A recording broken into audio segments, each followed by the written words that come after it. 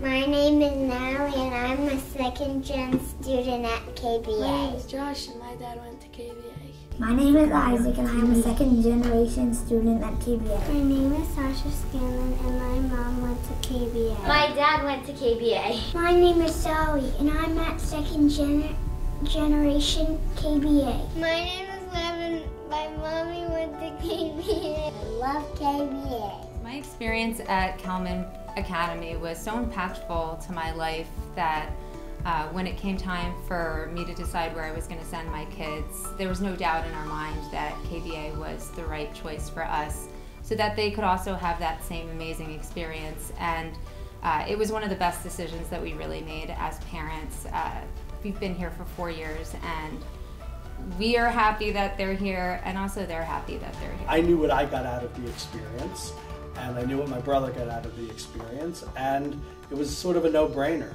that this is what we were going to do with our with our kids. We've had four kids at Kellman. My daughter Lisa and my son-in-law Ronnie, who's really a son to me, told me that they were sending Lev to Kellman Brown Academy. I said, Baruch Hashem! I was delighted, thrilled, and it made me so happy I started to cry. I was thrilled. I love Kellman. I love that Shira went there, and uh, we were very encouraging about I it. thought it was probably one of the most important things and the best things we ever did for our kids. It wasn't a surprise because Matt and my daughter Dina, our daughter, had such a wonderful, uh, really life-altering time at, at KBA. Watching him walk in to the same building that his father and his uncle had gone to school was amazing. Looking back and having an appreciation for the values that Kellman instilled, um, and in particular the connection to Judaism. Knowing that the same values that I was taught as a student, such as tikkun olam, chesed, kindness, a love of Hebrew, and a love of Israel, are being taught to my kids now, makes me the absolute happiest parent in the world. Lador Vador was a value that my parents always tried to instill in me.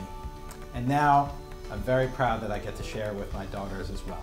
Kellman helped shape our boys by giving them a pride of Judaism and a connection that has lasted them many, many, many years into the future. But the most important thing that I think you can learn in education is who you are as a person and how to um, treat others. And that was, I would say, the biggest thing that I learned at Kellman Brown Academy. Kellman Brown Academy shapes the person I am today in a way that I think has helped shape me into the father I've become to Jack.